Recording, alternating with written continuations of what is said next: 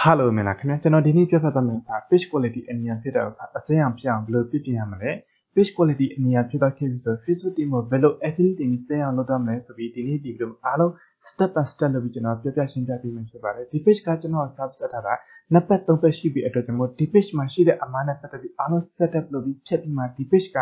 affiliate တင်ဖို့အစနစ်ဖြစ်တဲ့အတွက်ကျွန်တော်ဒီနေ့ဒီလို affiliate တင်ဖို့ဒီနေ့အားလုံးအသေးစိတ်လို့ကျွန်တော်ပြပြရှင်းပြပေးမှာဖြစ်ပါတယ်ဒီ page ကဇေယျအောင်စုရဲ့ page တစ်ခုဖြစ်ပါတယ်ဒီ page online အမှားတစ်ခုကဒီဇေယျအောင်စုရဲ့ page တွေများသောအားဖြင့်အမှားကိုယ်ပိုင်တက်ပုံမဟုတ်ဘဲနဲ့ကိုယ်ပိုင် content မဟုတ်ဘဲနဲ့အခြား page မှာတင်ထားတဲ့ပုံအခြား internet မှာတင်ထားတဲ့ပုံဒါမှမဟုတ်အခြား dai တွေတင်ထားတဲ့ပုံအလွယ်တကူတောင်းဆိုပြီး edit မလုပ်ဘဲနဲ့ကျွန်တော် page မှာတင်တဲ့အတွက်ကျွန်တော်ကျွန်တော် page တစ်မျိုး community standard violation ဆိုပြီး page quality အများဖြစ်တော့ခဲ့တယ်တကယ်လို့ကျွန်တော် video ဘာညာ UV တင်မယ်ဒါမှမဟုတ်ဒီ copyright အကြီးကြီး brand အကြီးအကြီးကြီးကိုကျွန်တော် download ဆိုပြီးတင်မယ်ဆိုရင်ဒီနေ့ကျွန်တော်တို့ strike လေးလာတဲ့ဥစ္စာရှိရပါဒါကြောင့်ရိုးရိုးတက်ပုံတွေကျွန်တော် copy ကူးပါ copy ကူးတာများတဲ့အတွက်ကြောင့်ကျွန်တော် page quality အများဖြစ်တော့ခဲ့ဒီပုံစံနောက်တစ်ခုကျတော့ကျွန်တော် page မှာတင်တဲ့တက်ပုံတွေကို page admin page owner ခေါ်တဲ့အခြားသော group တွေမှာခဏခဏ share လုပ်တယ်ဒါကြောင့်ဇေယောင်းဇေဝလုပ်တဲ့ page တွေများသောအဖြစ်က copy တက်ပုံတင်တယ်ပြီးလို့ရှိရင် သူတို့ page မှာတင်ထားတဲ့ပုံသူတို့ကိုယ်တိုင်အခြားသော group ပေါင်းများစွာပဲ sharing လုပ်တယ်အဲ့လိုမျိုးလုပ်တဲ့အတွက်ကျွန်တော် page quality အများဖြစ်တတ်ခဲ့တယ်တချို့ကြောင့်ရှိရကျွန်တော် video ကြည့်ရတဲ့သူတွေက page admin page owner နဲ့ sharing မလုပ်ဘူးအခြားသော fake account တည်တဲ့တစ်ခုလို့အဲ့ဒီ fake account နဲ့အခြားသော group ပေါင်းများစွာပဲ sharing လုပ်တယ်အဲ့လိုမျိုး sharing လုပ်လို့ဆိုတော့ page အတွက် effective ဖြစ်တယ် ID တစ်ခုထဲနဲ့ group ပေါင်းများစွာပဲ sharing လုပ်လို့မရပါဘူးတကယ်လို့ကျွန်တော် page က follower တွေ audience တွေကျသူတို့ sharing ရတာဆိုသူတို့ကျတော့အခြားနေရာအခြား internet အခြား location တခုပြီးလို့ရှိရင်ဒီ page မှာတင်ထားတဲ့ post တချို့တလီလောက်ပဲသူတို့ group တချို့တလီလောက် sharing လုပ်သွားတယ်သူတို့ profile sharing လုပ်လုပ်ပြီးသွားတဲ့အတွက်ကြောင့်အဲ့ဒါကိစ္စမရှိတာအားလုံး okay ဖြစ်တယ် Okay ဒီဥစ္စာနဲ့ပတ်သက်ပြီးနားလဲသဘောပေါက်ပြီဆိုတော့ဒီ page ကျွန်တော်တို့ affiliate Timothy နဲ့အသေးစိတ်လုပ်ပြီးကျွန်တော်ပြပြပေးမယ်ဒီနေ့တခုကျွန်တော်ပြောချင်တယ် manage admin ဆိုဖြစ်ကျွန်တော်ဒီ page quality အများဖြစ်သွားခဲ့ပြီးတော့ဒီ page မှာအမှားနဲ့ပတ်သက်ပြီးအားလုံးဖြည့်ရှင်းလို့ပြီးတော့ခဲ့ပြီဆိုရင်ကျွန်တော်ဒီ page မှာ admin အသစ်ခန့်ပြီးမှအဲ့ဒီ admin အသစ်နဲ့ဒီ page မှာ post တွေ content တွေပုံမှန်လေးတင်ပြီးတွားရပါတယ် အဲ့ဒါမှလည်းကျွန်တော်ဒီ page မှာ reach တွေ reach နဲ့ကစားလာပြီးမှအရင်ထက်တဲ့ပို့ပြီး reach တွေကောင်းလာမယ်ဇေယောဆိုရပညာကောင်းလာမှာပေါ့နော်ဒီလိုမျိုး page quality အနည်းအောင်အကြောင်းရင်းအမျိုးပြအနည်းအောင်ဖြစ်သွားခဲ့ပြီဆိုကျွန်တော် page မှာ post အသစ်တွေဘလောက်ပဲတင်တယ် reach တွေ engagement ကျတော့ခဲ့တဲ့အတွက်ကျွန်တော်ကျွန်တော် page ကဇေယောဆိုရပညာကျတော့ခဲ့တဲ့အတွက်ကျွန်တော် admin အသစ်ခံမှာအဲ့ဒီ admin အသစ်နဲ့ post တွေပဲတင်ပြီးတောင်းမယ်ဆိုရင်တော့ပြန်မှာ reach တွေပဲကစားလာတဲ့အတွက်ကျွန်တော်အားလုံးအဆင်ပြေမယ် okay this step တွေအားလုံးနားလည်သဘောပေါက်ဆိုကျွန်တော်တို့ affiliate တင်ဖို့ဒီနေ့ကျွန်တော် step by step လုပ်ပြီးကျွန်တော်ပြပြပေးမယ် video ရဲ့နောက်ဆုံးနားလေးမှာကျွန်တော်အရေးကြီးတဲ့အပိုင်းကြီးကျွန်တော်တချို့လေးကျွန်တော်ပြောဖို့ကြံခဲ့တဲ့အဲဥစ္စာနဲ့ပတ်သက်ကျွန်တော်အားလုံးပြပြပေးမယ်ဖြစ်ပါတယ်အဲ့တော့ကျွန်တော် affiliate တင်ဖို့ link ဖွင့်ထားရှိတဲ့အတွက်ကျွန်တော်အဲ link ထည့်ကျွန်တော်ဒါရိုက်ရေးပြပြမယ် okay ကျွန်တော်ဒီညရလာခဲ့ပြီဆိုရင်ကျွန်တော်ဒီဥစ္စာကြောင့်တစ်ချက်နေပြီးသွားရပါမယ်ပြီးလို့ရှိရင်ကျွန်တော်ဒီမှာဆိုရင် page ကဖြစ်တဲ့အတွက်ကြောင့် page ကျွန်တော်တစ်ချက်ထည့်မယ်ပြီးလို့ရှိရင်ကျွန်တော်ဒီမှာဆိုရင် affiliate တင်ရမယ် စာသားကျွန်တော်ထည့်လိုက်တဲ့အတွက်ကြောင့်မို့ကျွန်တော်ဒီမှာစာသားရေးထားပြီးတဲ့ရှိတဲ့အတွက်ကြောင့်မို့ဒီစာသားလေးကျွန်တော် copy ပြုပြီးထည့်လိုက်ပါမယ်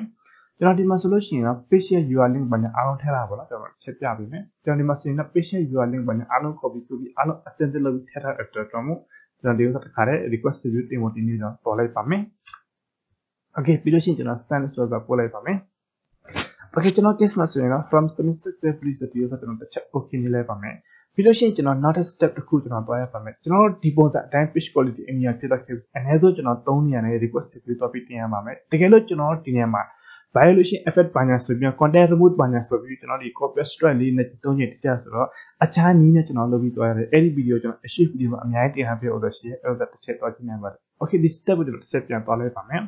ဒီနောက်တစ်ချက်လာပြီးကျွန်တော် page ရဲ့ URL link ကိုထည့်ရမယ်အတွက်ကျွန်တော်သူရဲ့ page home ကိုတစ်ချက်ပြန်သွားမယ်ပြန် copy ကူးမယ် ကျွန်တော်ဒီဗီဒီယိုလုပ်တဲ့ခါမှာစကားတက်တက်လေးပြောပြတဲ့ဆိုတော့ကျွန်တော်ဒီဗီဒီယိုလေးနဲ့ short ဖြစ်အောင်ပေါ့နော်ကျွန်တော်တကယ် AAC လေးပြောပြီးတော့မှဆိုရင်ကျွန်တော်ဗီဒီယိုကနိုင်ဝက်နိုင်တစ်ဖက်နီးပါဖြစ်တော့ခဲ့မှာဆိုတော့အတွက်ကြောင့်ပေါ့နော် okay ပြီးလို့ရှိရင်ကျွန်တော်အခုနောက်တော့ copy ကူးထည့်တဲ့စာသားဒီစာသားဖြစ်တဲ့အခုတစ်ခေါက်မှလည်းကျွန်တော်ဒီစာသားကျွန်တော်ရေးပြီးထည့်ထည့်သွားရပါမယ်ကျွန်တော်ဒီ name edit လုပ်ဖို့နည်းနည်းရှိတယ်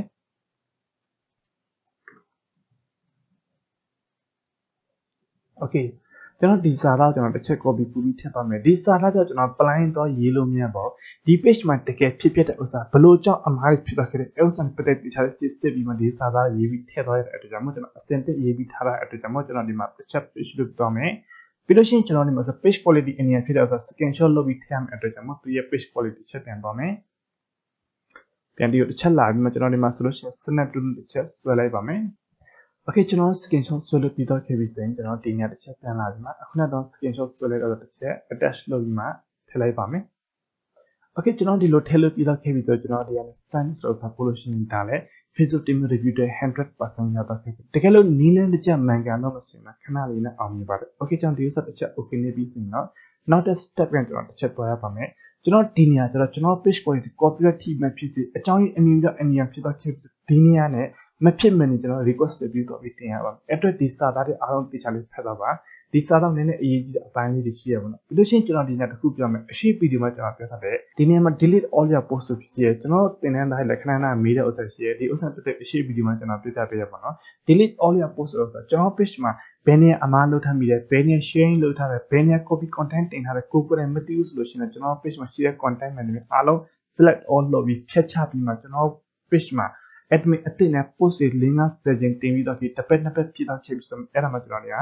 ဒီ Facebook page affiliate program နေပြီးတွားရပါမယ်နော်ဒီ step တွေခြားလေးလိုက်နာပေးပါတကယ်လို့ကျွန်တော်တို့ကဘယ်နေရာ sharing လုပ်ထားမိတယ်ဘယ်နေရာ copy ကူးထားမိတယ်အဲဥစ္စာလေးကျွန်တော်သိတယ်ဆိုရင် NR လေးတွားပြီးမှတစ်ချက် edit လုပ်ပြီးဖြတ်ပြီးမှကျွန်တော်ဒီကနေ့ request review တော့ပြီးတင်လို့ရတယ်ဒီ page ကိုကျွန်တော်အသေးစိတ်နှစ်ကြိမ်သုံးကြိမ် check out လုပ်ထားတဲ့အတွက်ကြောင့်အားလုံး clearly ဖြစ်တဲ့အတွက်ကျွန်တော် affiliate တင်ဖို့ကျွန်တော် step သွားလိုက်ပါမယ်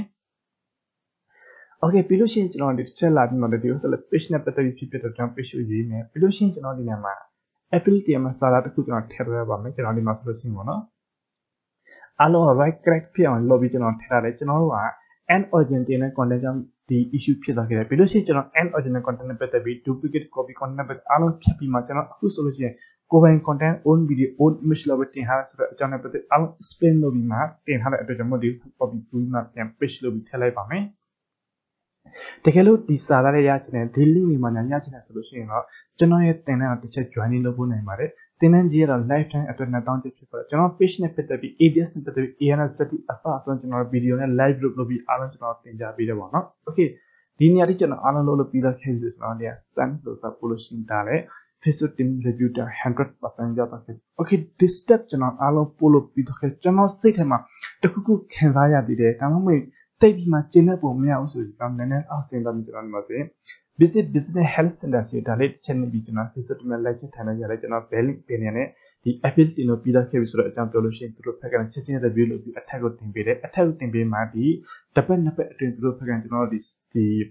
Facebook sport post မှာသူတို့စာပို့လိုက်အဲစာကျွန်တော်တစ်ချက်ကြည့်ပြီးမှကျွန်တော်ရဲ့ page ရဲ့ URL link ပြီးလို့ရှိရင်ဒီ page point အနေနဲ့ဖြစ်တဲ့ screenshot ပြီးလို့ရှိရင်ကျွန်တော်ဒီ affiliate မှာစာတာတစ်ခုကျွန်တော်တို့ copy ကူးပြီးမှပေးလိုက်မယ်ဆိုလို့ရှိရင်သူတို့ဘက်ကနည်းနည်းပဲ review လုပ်ပြီးမှကျွန်တော် page မှာတကယ်ပဲအမှားမလို့ထားသူတို့ဘက်ကအားလုံး check လို့တကယ်ပဲ sharing မလို့ထားတကယ်ပဲအမှားမလို့ထားအားလုံး right ဖြစ်တယ်ဆိုရင်ကျွန်တော် page ကခဏလေးနဲ့ပြန်ပြီးစေအောင်လုပ်ပေးပါတယ်တကယ်လို့ကျွန်တော်ဒီနေရာမှာ affiliate တင်လို့ပြီးတော့ကျွန်တော် page ကဆက်လက်ပြီးအမှားလုပ်မယ်ဆက်လက်ပြီး sharing လုပ်နေမယ်ဆက်လက်ပြီး copy content မှာတင်နေမယ်ဆိုကျွန်တော် page ကမစိမ့်လာပဲလေပြတ်ဖို့ပဲရှိတယ်အဲ့တော့ကျွန်တော်အဲ့ဥစ္စာလေးတစ်ချက်သတိထားဖို့နိုင်ပါတယ် တချို့ကြရှိရ service attack မှာကျွန်တော်အားလုံးအသေးသေးရှင်းပြလိုက်ချင်မှာတချို့ကြတော့လေတေချာလေးမလိုက်နာပဲနဲ့ copy content မှာညတင်ပြီးတော့သူတို့ page က message နဲ့ထက်ထက်ပြီးကြာတော့ခဲ့တဲ့အတွက်ကျွန်တော်အဲဒီဥစ္စာလေးတစ်ချက်ကြည့်ဆက်ဖို့နိုင်ပါတယ်နောက်တစ်ခုကျတော့ရှိရ page owner တယောက်နဲ့ page နှစ်ခုသုံးခုကင်တဲ့အခါမှာ tab ပေါ်နဲ့ပတ်သက်ပြီးကျွန်တော်ပြပြပြီးစာသားနဲ့ပတ်သက်ပြီးတချို့ကျရှိရဒီ page 1မှာတင်တာစာသားပဲဒီလိုလေး copy ကူးပြီးမှနောက်တဲ့ page တစ်ခုမှာတော့ page လုပ်ပြီးတင်တဲ့အခါမှာစာသားနဲ့ပတ်သက်ပြီး reuse content ဖြစ်တဲ့အဲဒီဥစ္စာနဲ့ပတ်သက်ပြီးလုံးဝလုပ်လို့မရပါဘူးတကယ်လို့ကျွန်တော်စာသားကို တစ်ခေါက်ရေးပြီးတဲ့စာသား page ၄၅ခုမှတစ်ခါသွားပြီးတင်ချင်တယ်ဆိုလို့ရှိရင်အရင်ဆုံးကျွန်တော်တို့ note ထဲမှာကိုကိုယ်တိုင်ရေးပြီးထည့်တော့ပါ note ထဲမှာရေးထားပြီးတဲ့စာသားတွေ copy ကူပြီး page တိုင်းမှာသွားပြီးတင်လို့ရတယ် page ကနေ copy ကူပြီး page မှာတင်လို့မရဘူး note ကနေ copy ကူပြီး page တွေမှာအားလုံးတင်လို့ရပါတော့ okay ဒီဥစ္စာပတ်သက်ပြီးအားလုံးနားလည်သဘောပေါက်ဆိုလို့ရှိရင်တော့ဒီနေ့ဒီပြမှာဒီလောက်ပဲပဲအားလုံးကျွန်တော်ကျေးဇူးတင်ပါတယ်တကယ်လို့လူကြီးမင်းရဲ့ page မှာ add account မှာ error တခုကြုံတွေ့လာခဲ့တဲ့အပေါ် Viber နံပါတ်တစ်ဆင့်ကျွန်တော် contact လုပ်နေမြင်မြင်ဝင်နိုင်ပါတယ်အားလုံးကျွန်တော်ကျေးဇူးတင်ပါတယ်